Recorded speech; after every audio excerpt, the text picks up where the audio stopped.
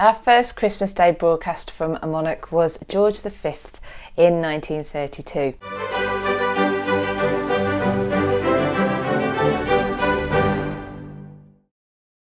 He was a little bit nervous about using this new technology and being broadcast over what was called then the wireless. But he had been reassured by a visit to the BBC earlier on in the summer and seen how they were doing it, and so agreed that this would be a great way to address the Empire on Christmas Day. Two rooms at Sandringham were converted into temporary broadcasting rooms, and the message from Sandringham was relayed to the BBC offices in London, and from there, using the Post Office network, transported across the world.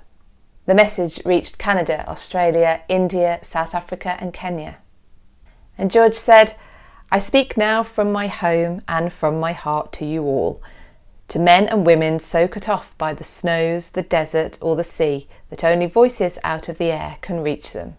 It must have felt quite exciting but odd. He's talking into a microphone and being told that message is going to reach people all over the world. Must have been quite a surreal experience. So, George V's speech had set that tradition of the monarch addressing the nation every Christmas Day.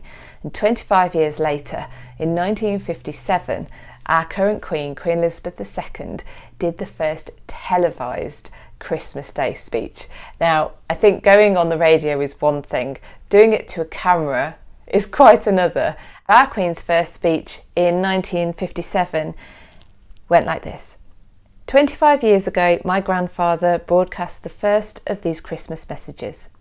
Today is another landmark because television has made it possible for many of you to see me in your homes on Christmas Day.